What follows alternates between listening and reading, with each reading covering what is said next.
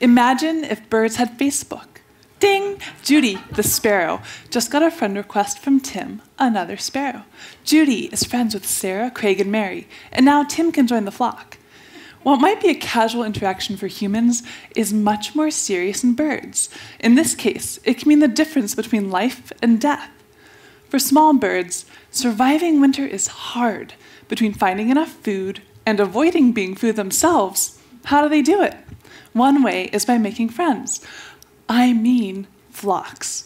By forming flocks, small birds get benefits of being in a group, more individuals to look for food, and watch out for predators. I study golden crowned sparrows and how different behaviors can help them survive. Golden crowned sparrows are a small brown bird with a beautiful black and gold crown. They breed in Alaska, then migrate to California where they spend their winters and where we study them my research group discovered that golden crowns don't just randomly hop around looking for food, but actually form complex social groups, similar to primates. We use social network analysis techniques, a bit like Facebook, to understand how individual birds are connected with each other. We found golden crowns form distinct communities of about 20 to 30 birds. They spend most of their time only associating with birds in their same community.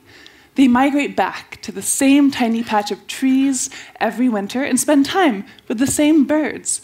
In other words, they come back and hang with their friends year after year. So we have these birds in social groups. Within them, birds have different social statuses. Some of the ways I measure social status are how many friends a bird has, how much they associate, and if there's much variation within that. I want to understand why do birds have different social statuses? Does it depend on their physical appearance, body size, sex, or other behaviors? I've found a bird's social status doesn't depend on just one thing, but is predicted by a blend of how dominant it is and its sex. Females and more dominant birds actually have more friends and are more strongly associated with those friends.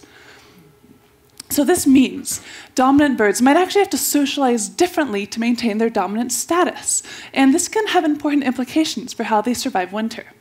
My research helps us understand not only how animal groups are organized, but why. So, don't forget to send your dominant female friends a friend request. and maybe you can join the flock too.